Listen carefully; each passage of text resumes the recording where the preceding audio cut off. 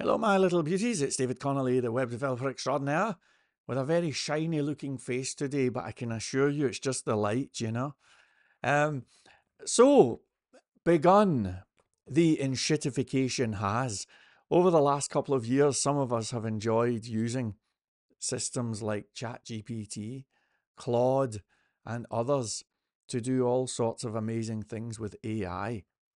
Now, those of us who have been around the block, we've seen this type of thing before. We knew what was coming up. They caught us out with all of the cloud. You remember? The cloud. Not so long ago, everybody was saying, oh, you'll save a fortune.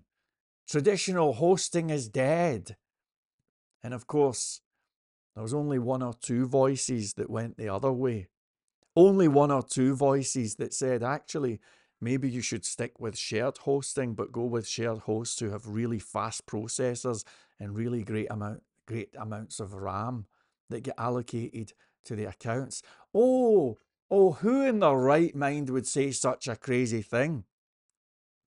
Anyway, if you are in any way involved with something like web development or software development, you will know that there's no shortage of horror stories where developers have woken up to bills for $90,000 and prices like that from the likes of Firebase and other cloud providers. So I think it's safe to say we had a nagging feeling that the honeymoon period would soon be over. Today, I am declaring that the honeymoon period is over. I've just been on Claude that's uh, Sonnet 3.5, I believe. And I've noticed day by day, and I'm sure this is a daily thing, the walls are closing in. And what happened is, I'm a paying customer. And when you first got the thing, you could talk to it for ages and ages and ages. And after about four hours, it would say, Look, you're using a lot of resources. Can you ease off? And that was fair enough. But then the walls moved in and in and in. It got to the stage where you could sit and use it for maybe two or three hours, and then it would say you are out of messages until 10 o'clock tonight. You'd come back, get another few hours, and it was fair enough. Gradually, the walls kept on moving in. Now, it's at the stage where, for me, it's virtually unusable. I had a very short conversation there. I was trying to get a hand with some stuff and I was trying to paste in about a hundred lines of console log messages. Nothing at all. That's nothing. And I just tried to paste in a hundred lines and Claude is now saying, oh, your message is too long. Uh, please start another conversation. So, fine, I'll start another conversation. Let's stop using these AI providers because I can see how this is going and I'm not going to get caught out. I'm going to tell you exactly what I'm going to be doing actually if you stay tuned. But won't you do me a favor? Would somebody give me a thumbs up? Maybe a little comment? Or I know it's an outrageous idea, but maybe, well, actually don't bother subscribing. I think I've given up. Anyway, just let me know that you're alive, won't you? All right. So, what about ChatGPT? How are they doing? Well, this week, I'm not a, a paying ChatGPT customer, but I do use it. And this week, I noticed that when I was using it, a little thing appeared from nowhere where every time I was adding, having a conversation, it said memory updated. And I was like, what does that mean? And I was, I, I ignored it and then about three days later, it says you have ran out of memory. Please clear your memory to continue. Like, what? So I had to clear all of my previous conversations. And it's basically the same process. Now, they're going to keep doing this regardless of whether you are paid or unpaid. For those of you who are optimists, I would say maybe there's some good news here because there's going to be a lot less competition. I reckon 90% of people, including developers, who are using these AI providers are now going to give up. They're going to see the enshittification They're going to see the lofty fees and just all of the hassle day by day, and they're going to just say, I've had enough. So the good news is you've now got far less competition. Congratulations. The bad news is this situation is only going to get worse and worse and worse. We're dealing with big, giant tech companies. And even though I am the web developer extraordinaire, they're not going to listen to the complaints of one guy, you know? So the honeymoon period is over. It's not going to be changing. Nothing I say is going to change any of it. It's just the way things are. And it's it's only going to get worse and worse and worse and worse. Hate to lay it on you. So, I will never offer a criticism without offering a solution. So, I'm going to tell you exactly what I'm doing, and you can do whatever you want. So, for me, I've made the decision that I'm happy to play around with these technologies for just live streaming and asking trivial questions and stuff like that. But when it comes to serious commercial web development, I'm not using them. I am not using them and I'm not going to get caught out by this process that is very clearly underway. So, what am I going to do? Well, I'm going to run it locally. I am going to run it locally. You can do that. You can actually download things. I mean, the one I used is called GPT for All. That's the number four, actually. GPT4All, all one word. But there's others. There's other um, software packages you can download. Please educate the people and let us know in the comments here. Help me out. But there's others, and you can download them. You can have the little prompt screen and everything on your computer. And in fact, I've ran tests.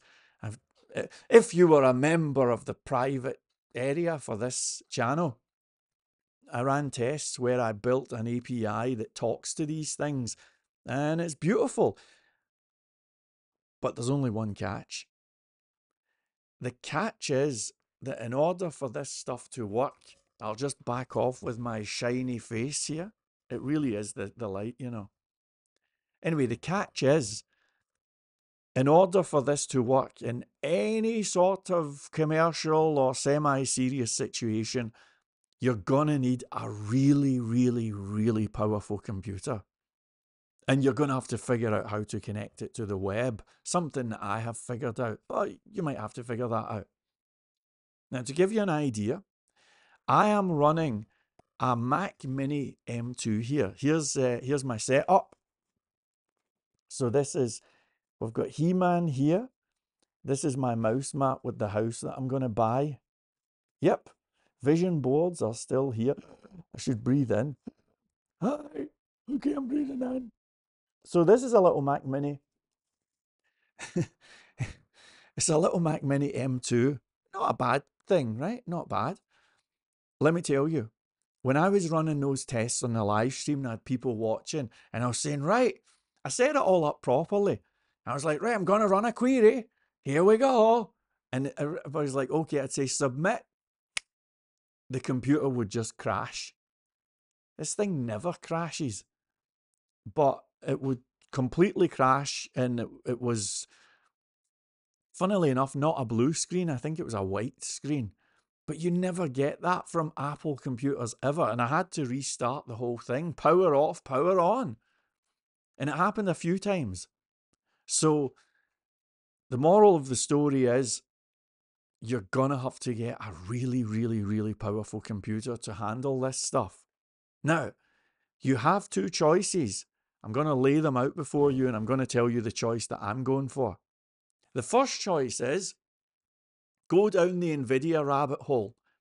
Go buy a big, powerful fan with heat sinks and all of that stuff and get on your hands and knees and spend 20 or 30 grand building a huge system that's probably going to be out of date by the time I've finished this sentence. But that's not for me. Even if the, this is how I see it, right? Even if you could afford the tens of thousands that it would cost to get a decent system up and running, hardware system, even if you could do that, I actually think that your electricity bills are probably going to go through the roof. And call me stingy, but I just don't think it's uh, an economically sound policy. Therefore, my own policy is I'm going to be waiting on a Mac Mini with an M4 chip. Now, there's rumours that they're going to be releasing this any day now. I hope it happens. But they're bound to release something like that.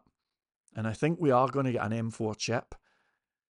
So when we get the Mac Mini with the M4, that will not be as powerful as your 30 grand NVIDIA setup. And you're probably going to have to build applications that have all sorts of throttling and stuff like that.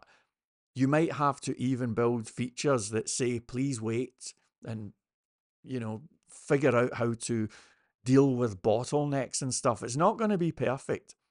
But I'm going to get myself a Mac Mini M4. I'm going to have it right over in the corner there.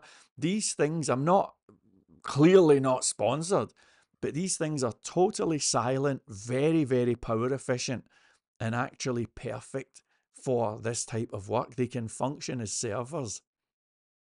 So it's going to be a Mac Mini M4.